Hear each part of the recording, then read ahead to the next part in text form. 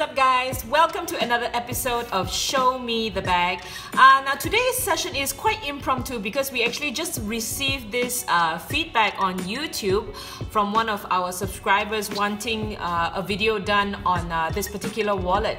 Uh, this wallet is called Mule uh, and the model that we're going to be introducing to you today is called the Nylon Switchback. Now just to give you a little bit of intro on this brand, now, Mule um, is a brand that's all the way from San Diego, uh, that's in um, USA, and these guys are the same makers uh, of the brand Allet. If you're familiar with the brand Allet, A-L-L-E-T. So these guys are the same makers, so they have come up with their another subsidiary uh, brand as well. So today we're going to be talking about the Switchback Nylon Wallet.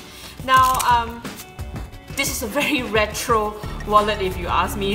Looks like something that I probably carry when I was a teenager. So um, now this wallet is one of those slim wallets, okay? It's a nylon um, RFID slim wallet.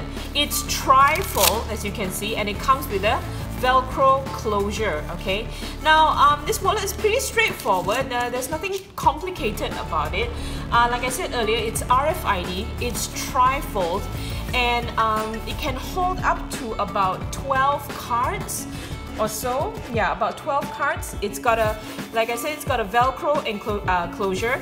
It's got a zipper pocket for those of you who cannot live without coins. It's got a zipper pocket over here. And on top of that you've got a slot here for cards. You've got a quick access slot here. And you also have an ID window over here. On top of that there's also a very special pull tab for hidden cards. So if you want to keep your credit cards or business cards, you can actually keep them here.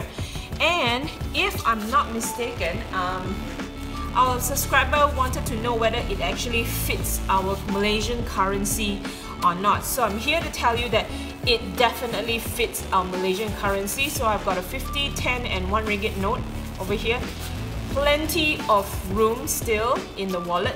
Now this would mean that um, this wallet would be perfect if you uh, need to keep receipts and I don't know, any other papers, important papers that you need to be carrying around.